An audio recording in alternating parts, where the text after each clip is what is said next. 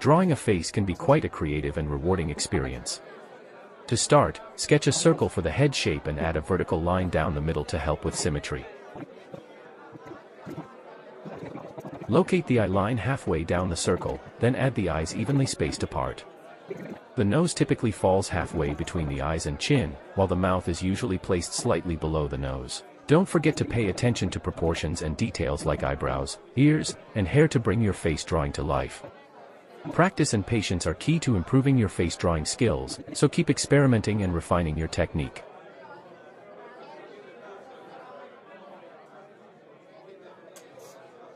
Please follow for more art videos. Artist Harrsha